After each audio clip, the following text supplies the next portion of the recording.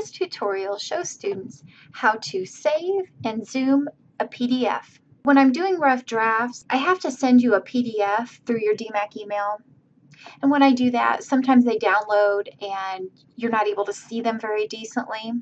So I've got a few tips and tricks to help you uh, be able to save and zoom and be able to view the comments a little bit better. Pretend you're in your DMACC email and you have received Rough Draft 2 comments from me. When you open that up, you see something similar to this. And so if you immediately go up and click on File, Save As, and then scroll on down to where you're going to save it on your computer, whether that's your flash drive, whether that is actually on your computer physically, and then hit the Save button, then you will have saved that file. The other point is how do I actually view the comments here? Because you can see the balloons and you can see them leading to an area of the paper, um, but I can't read that very well. and when I download comments from Blackboard or whether it is from uh, DMACC email, it often downloads them in a 75% zoom.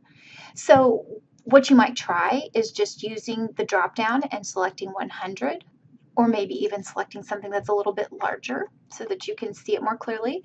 I've just scrolled down and I'm going to scroll over to the right to look at the comments a little more closely.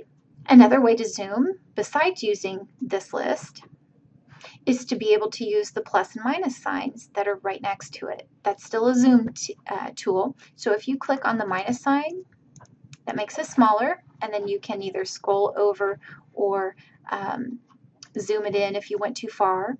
The last piece of advice that I have is that some of you enjoy checking things off the list and making sure that you've taken care of elements. You know, if you printed off the assignments that I send you, and then you highlight or you check through anything that you've changed as you go through. You could look at the comments up close here and then check them off of the paper that you've actually printed off. That may help you keep track of what you've been doing.